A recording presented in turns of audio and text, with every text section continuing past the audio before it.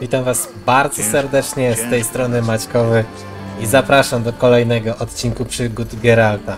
Na wstępie chciałem powiedzieć, nie zwracajcie uwagi, że mam taki czerwony pyszczek rumieńce, bo jestem po treningu po prostu i chcę dla Was mimo wszystko dalej nagrywać odcinki, żebyście dostawali je codziennie i nie chcę się w tym złamać. A dodatkowo chciałem przypomnieć, że tutaj na dole, pod obok nazwy kanału, macie ikonkę do wspierania kanału. Także jak chcecie, ja Was do tego zapraszam. A teraz lecimy z naszym zadaniem. Co prawda w poprzednim odcinku ogarnialiśmy jakby część fabularną tego dodatku, czyli tam spotkaliśmy Detlafa, Regisa, pannę Orianę i tak dalej, i tak dalej. Ale w tym odcinku zaczniemy od zlecenia Monstrum Stufo. Tak dla odskoczni naszej gierki zrobimy sobie zleconko, zarobimy troszkę pieniążka i poznamy co tutaj w Tuso jeszcze się dzieje. Także zapraszam do oglądania i lecimy z tym tematem.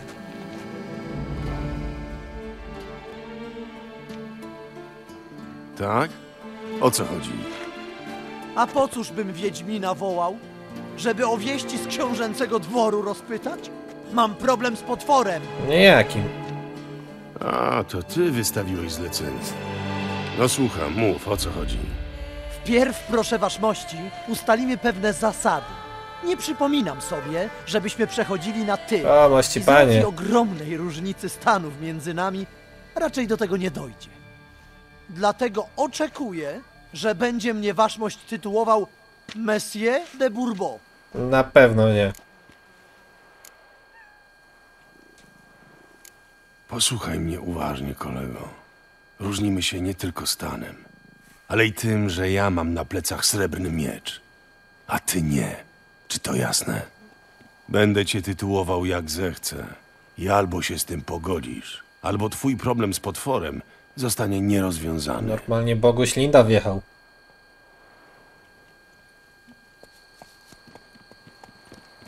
No to żegnam. Co za tupet! Złożę skargę do waszego cechu. Tak? Zaadresuj ją na dział obsługi klienta. Kermoren. Kedwen. A teraz mów, zanim się rozmyślę. Słucham. Ale dowalił. Ech, Nordlingowie i ich maniery. Dobrze, miejmy to szybko za sobą. Coś zalęgło się w mojej winnicy. Pewnie grzyb. Aha. Znaczy, będę musiał przygotować olej przeciw cosiom. Słucham? Potrzebuję więcej informacji. Gdzie to coś widziano? Czy są świadkowie? Ciała do obejrzenia. W tym rzecz, proszę waszmości, że nikt tego potwora nie widział. Słyszymy go tylko. Takie jakby chroboty i piski. Ciał też nie ma. Ludzie znikają bez śladu. No to nie jest akurat normalne. W takim razie skąd dochodzą te dziwne dźwięki? No, zewsząd. Ale najwyraźniej słychać je w piwniczce na wino. Znaczy potwór ma pewnie siedlisko gdzieś pod ziemią. Co? A kiedy są najgłośniejsze? W nocy.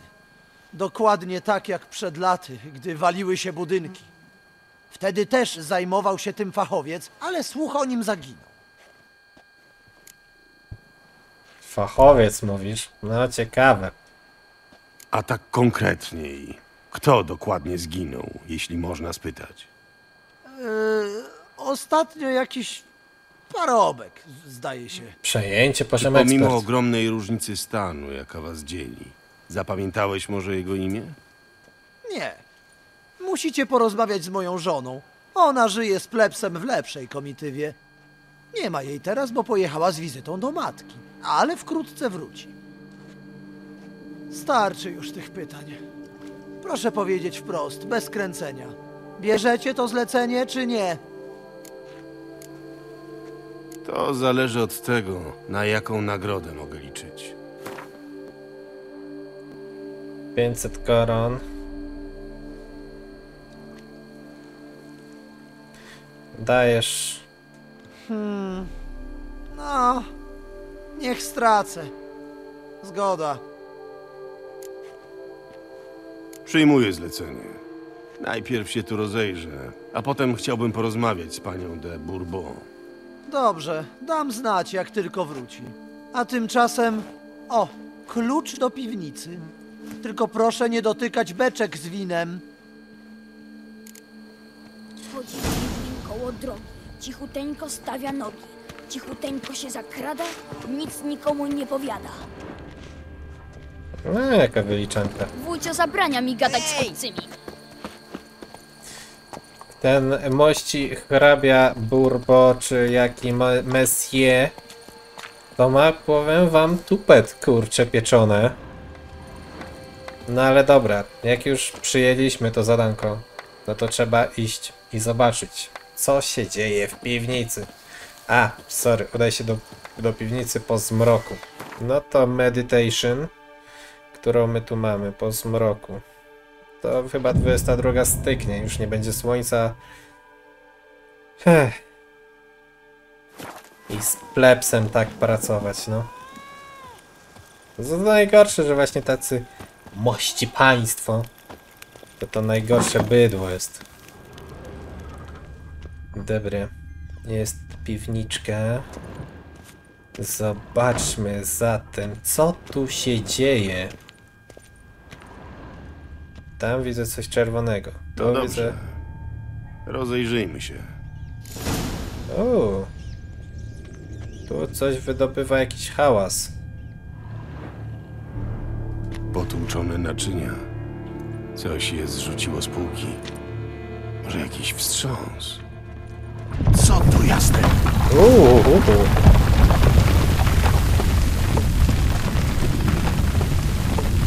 Albo grubo, albo wcale.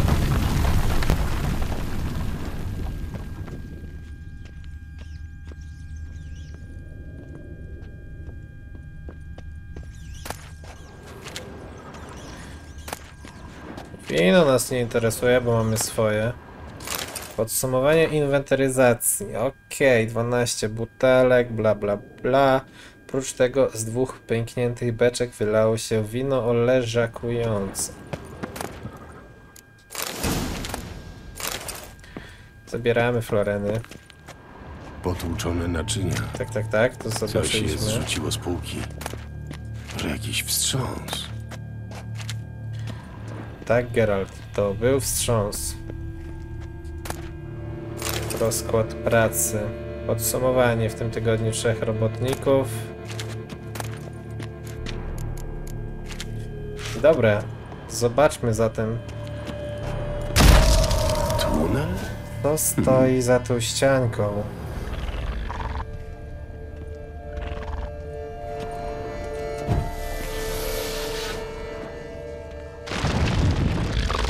Uhuhu.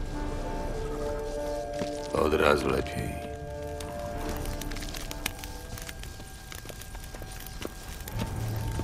No tego to się w takiej piwnicy nie spodziewałem.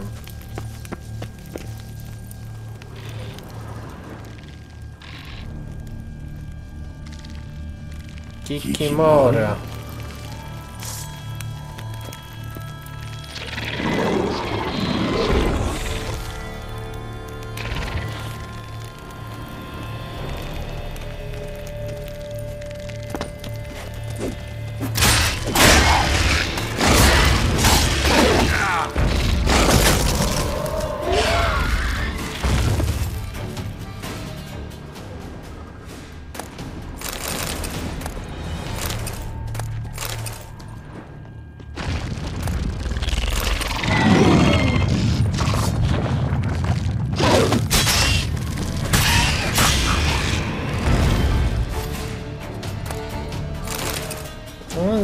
mi się, żeby to było wszystko, co tutaj na pewno znajdziemy. Stalce z źródłem. No na pewno nie to. A raczej na pewno nie to do końca. To jakaś chyba musi być bycza Kikimora w takim razie. Co możemy zejść tutaj w dół?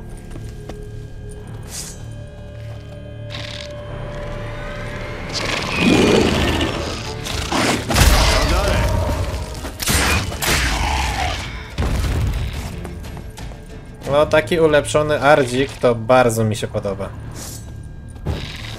Głęboki ten tunel.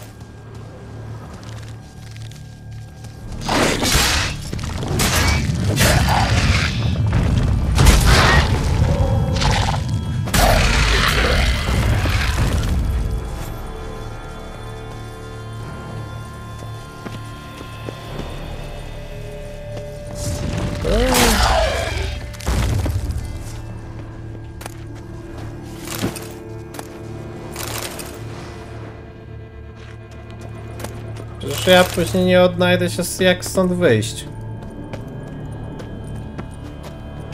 Dam radę przebić się na drugą stronę. Pewnie, że dam radę. Ucieka. Przeszukaj podziemne. Oho, mamy wielką kikimorę. Pokaż co umiesz.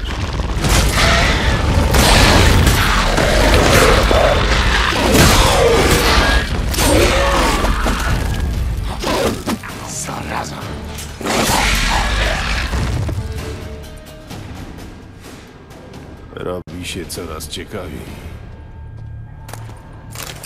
Rozbite jaja Kikimor. Coś się nimi żywi. To coś jeszcze większego?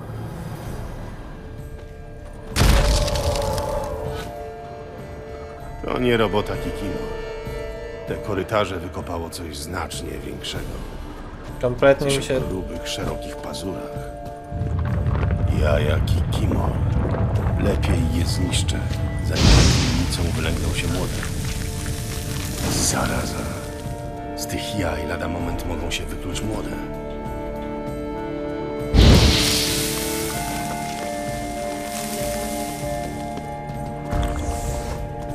Jeszcze te jaja macie?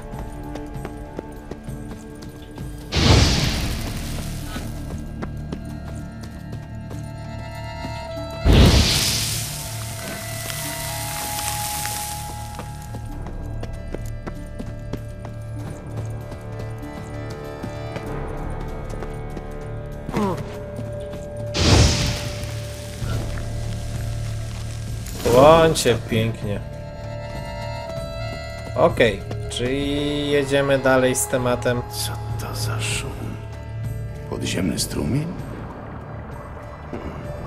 Potwór, którego szukam, żyje pod ziemią. Kopie tunele, żywi się kikimorami. Jest duży. Bardzo duży. Tu się niczego więcej nie dowiem. Pora wracać na górę. Gdzie?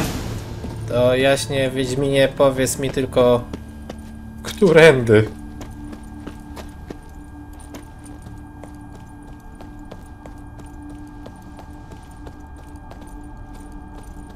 Nie, wygląda, że tędy.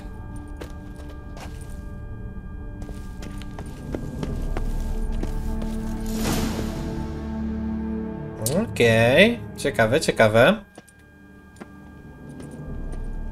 Bogowie! Nie, Wiedźmin. Co to ma znaczyć? Płacę za zabicie potwora, a nie demolowanie majątku! Ten Przestań. majątek sam się sypie. To przez tunele. Jak ich szybko nie wypełnicie, budynek się zawali. Tunele?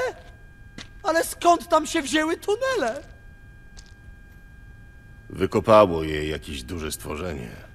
A przy okazji w tunelach zabiłem trochę kikimor i zniszczyłem ich jaja. Ta przysługa nie będzie pana kosztowała wiele. Ja jaki Kimor? Tak, oczywiście, pochwalam. Rzecz jasna, zapłata się należy. Doceniam. Pani de Bourbon, jak mnie mam. Podobno wie pani coś o zaginionym parobku. O Jean-Lucu? Tak. Poszliśmy doglądać tegorocznych sadzonek, co się podgryzało. I wtedy usłyszeliśmy takie dziwne dźwięki. Jean-Luc poszedł sprawdzić, co to, i już nie wrócił. Gdzie to było? Mogłaby pani opisać, jak wyglądał ten Jean-Luc? Wysoki, Nie, dobrze zbudowany, czarne włosy. to tylko parobek? Kochanie, skup się. Każdy chłop jest dobrze zbudowany, bo w polu robi. Chodzi o znamiona, cechy charakterystyczne. On chyba nie tylko w polu robił. Nie, ale nosił na szyi wisiorek. Srebrny. Srebrna biżuteria? U parobka? To był prezent. y, y, Zdaje się, y, tak, tak mi przynajmniej mówił. To mi powinno wystarczyć. No to na co czekacie? Do dzieła! Robota czeka! Ewidentnie coś tutaj było kręcone. Uda się w miejsce, gdzie widziano Jean-Luc. Dobra, zdejmiemy sobie tylko kota.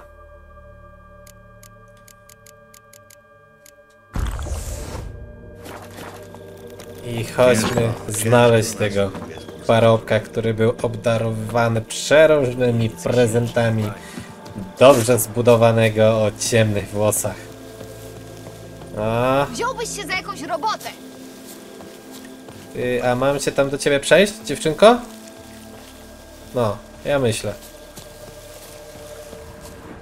Okej. Sprawdzane sadzonki. Czyli coś my tu już mamy.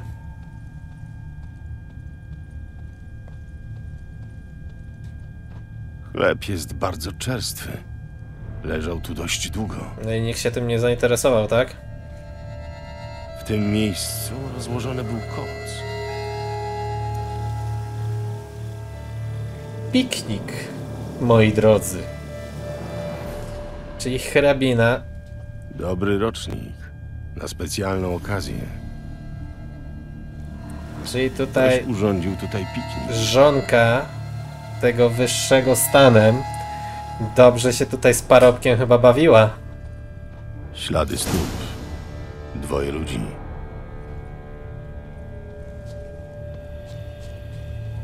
No to dobra. Uuu. Tu się rozchodzą. Ślady rozdzielają się. W tym miejscu kobieta zawróciła, a mężczyzna szedł dalej. No i tutaj właśnie cały ten Jean-Luc. Tutaj wiodą tropy mężczyzny. I jego chcemy sprawdzić.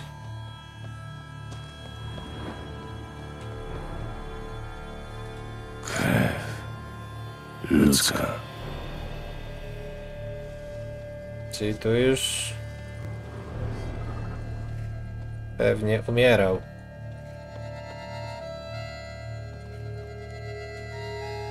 Kawałek pancerza ze zrogowaciałej szarej skóry.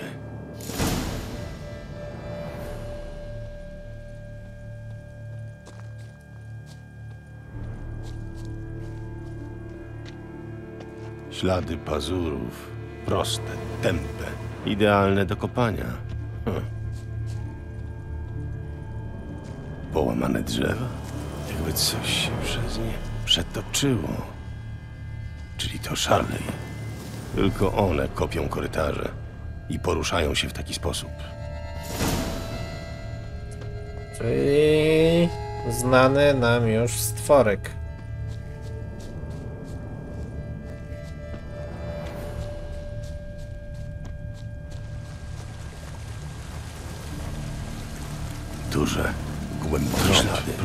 Jaskini.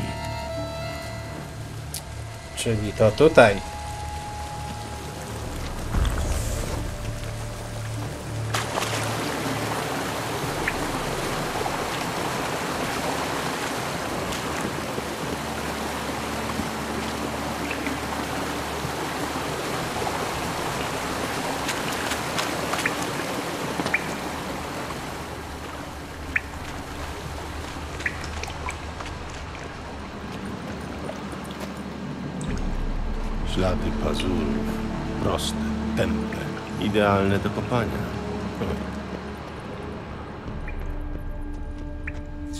Tu nic. A tędy leciał chyba nasz Charley. Charley jest gdzieś blisko. A co my tu mamy? Warto się tu rozejrzeć. A my tu już nie byliśmy. Odchody Charleya.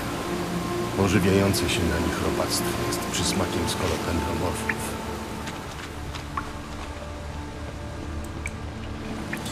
Dobra, to jak wiemy, że to jest Charley.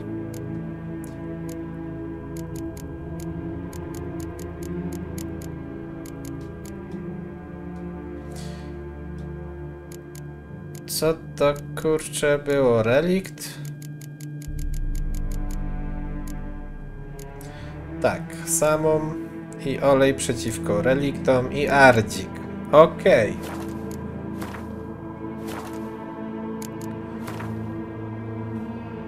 To przygotujmy się.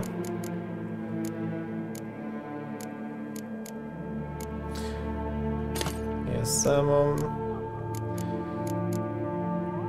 I olej przeciwko reliktom.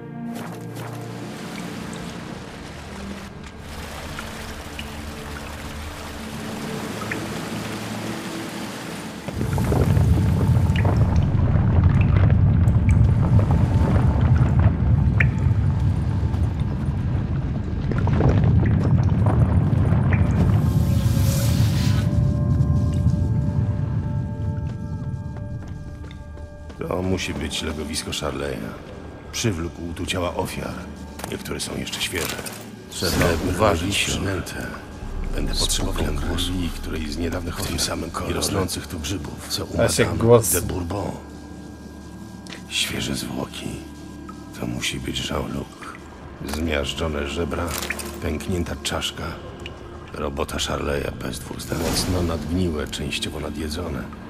Leżą tu już jakiś czas. Dobra, zobaczmy, czy mamy tutaj coś jeszcze, co by nas tutaj mogło zainteresować. Ale jak widać...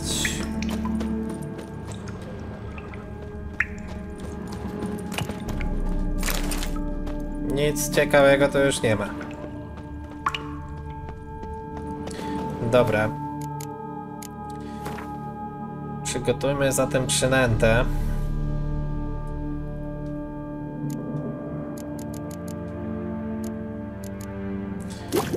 Przynęta na Charleya. Trzeba to wylać w leżu, gdzieś blisko ciągów powietrza, żeby zapach rozszedł się po całej jaskini.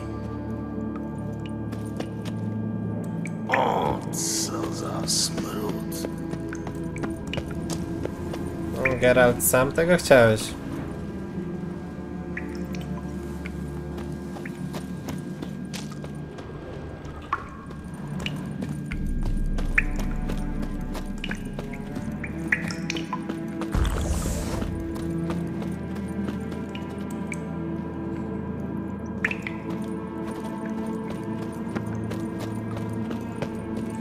A teraz musimy poczekać. Charley będzie tu lada moment.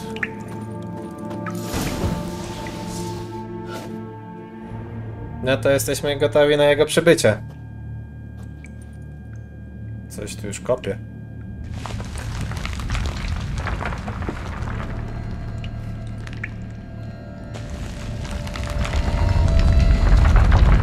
No mam nadzieję, że to nam się nie zawali na głowę. Trzeba było przewrócić i od dołu uderzać, z tego co pamiętam.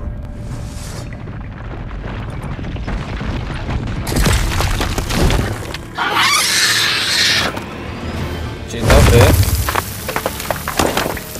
Duży jesteś. No dalej. Pokaż pazury.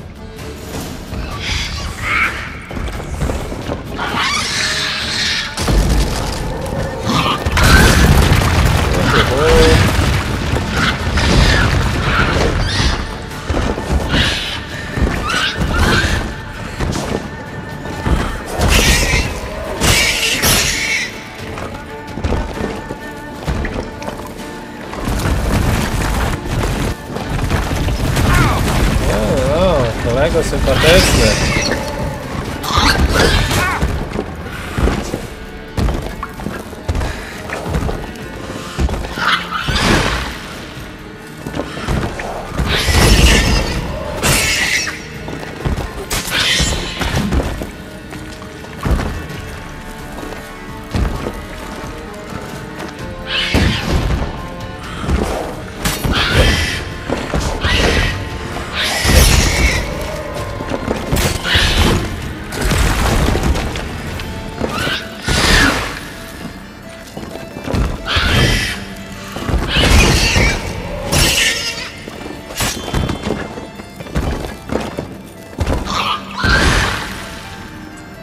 taki jesteś troszkę tempowy.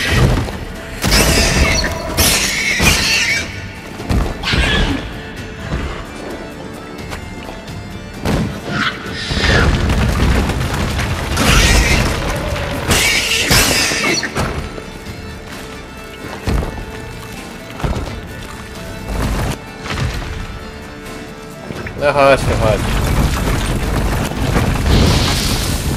tylko chciałem użyć. No właśnie.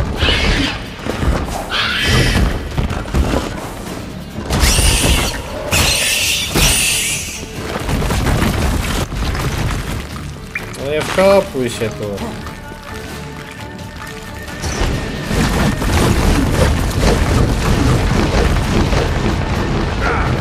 No właśnie tego chciałem.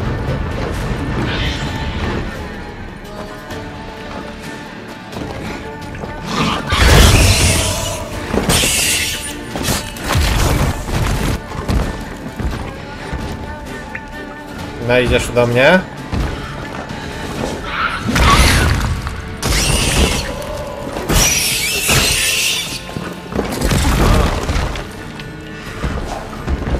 No, zapraszam.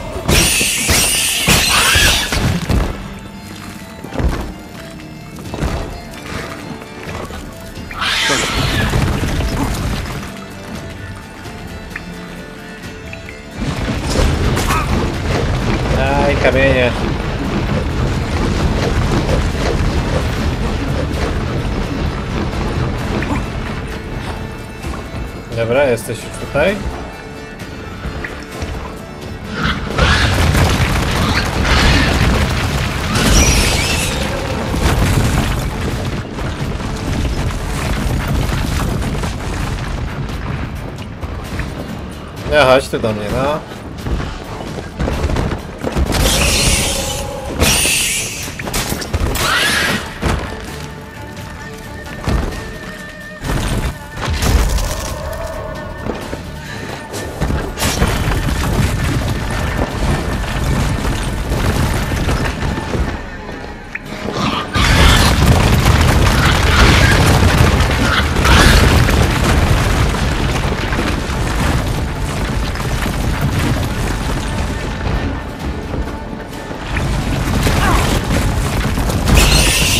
wiesz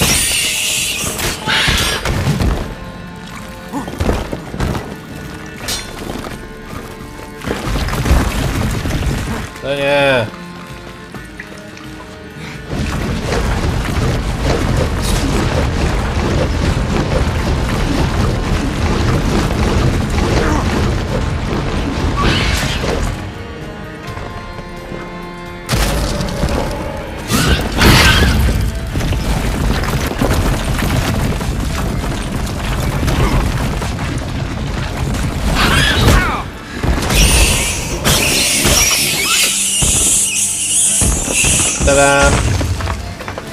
Charley. Trzymać łeb i zgłosić się po nagrodę. Dokładnie tak.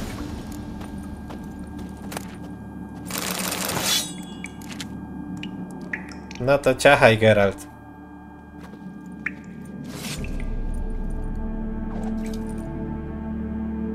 Tak, magiczny nożyk, który przetnie wszystko. Nawet twardą skór skórę Charleya. No okej, możemy wrócić do naszego zleceniodawcy, tylko którędy to było? Tu, tu, tu? Tu, tu, tu. Dobra. Nie, Geralt.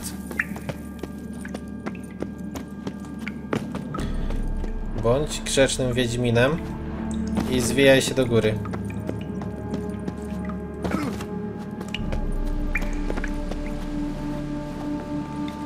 A jaśnie oświeconą, nieoświeconą, przepraszam, co ja gadam. A małżonka chyba będzie miała coś do powiedzenia temu wyższemu stanu.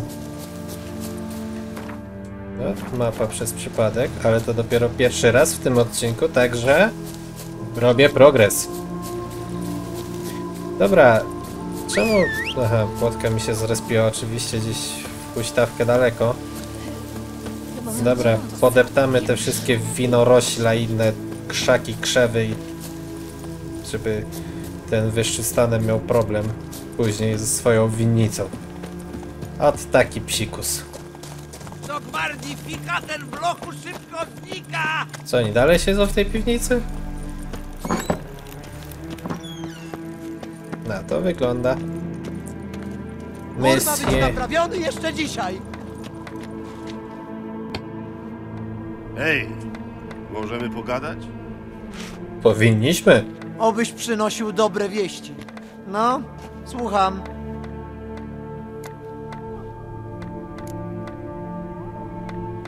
A, dogryziemy mu.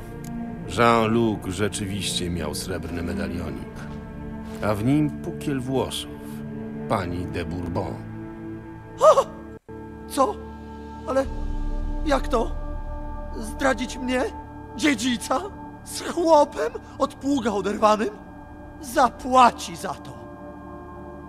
Musiałem to zrobić. Nie wątpię, ale może wpierw to ja dostanę zapłatę za usługę nieobjętą zleceniem. Proszę, potrącę sobie z jej posagu.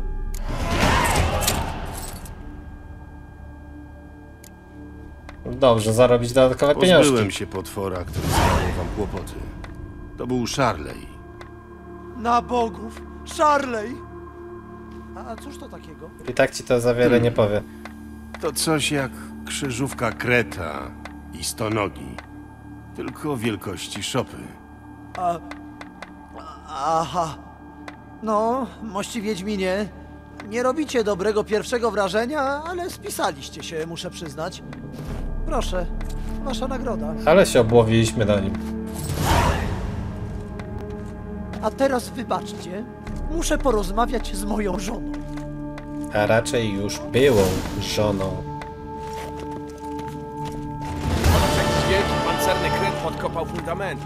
I dlatego wszystko się Czy ja jestem w stanie w ogóle podsłuchać tą rozmowę? Podajmy się za Monsieur de Bourbon i zobaczmy, czy będzie teraz rozmawiać z małżonką. Bez wątpienia strasznie mnie to ciekawi. Czy po prostu ją dźgnie pod żebro. Masz godzinę, żeby się spakować. Nie udawaj głupiej! Dobrze wiesz, o co chodzi! No, dalej! Pakuj manżur i udaj się stąd w bardzo szybkim tempie, w bardzo dalekiej... O, ale wzięła to do siebie. No dobrze, moi drodzy. Zrobiliśmy sobie zleconko wiedźmińskie. Obłowiliśmy się na Monsieur de Bourbon, czy jakkolwiek pan wyższy stan się nazywa. Ja mam nadzieję, że taki odcinek wam się spodobał zostawicie łapeczkę w górę i tak jak na początku odcinku mówiłem, możecie tam kliknąć, wesprzyj kanał i się zaznajomić z moją propozycją. Oczywiście ja tylko proponuję. Także teraz już będziemy kończyć ten odcinek. Ja wam bardzo jeszcze raz dziękuję za oglądanie i widzimy się już jutro. Do zobaczenia.